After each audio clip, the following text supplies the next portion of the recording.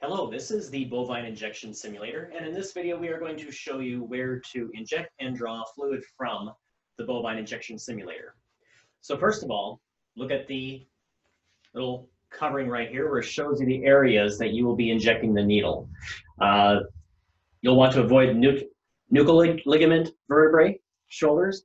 Injections for subcutaneous and intramuscular injections will only be in this area here and when drawing fluid from the jugular, you will go in through the jugular vein.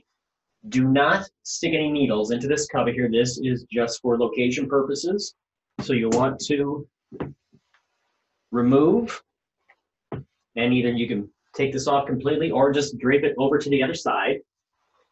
For subcutaneous, again, imagine that same area.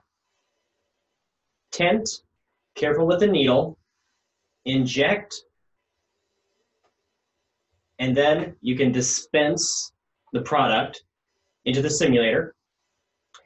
For intramuscular, you will go straight in and then dispense the product.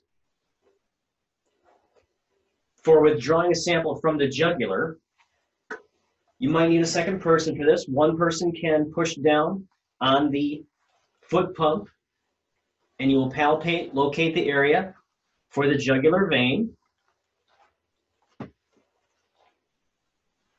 When jugular vein has been located, with the needle, needle goes towards the heart. Make sure your fingers are out of the way. Insert the needle. They feel like a poke at a, a 35 degree angle and then pull back to withdraw the fluid.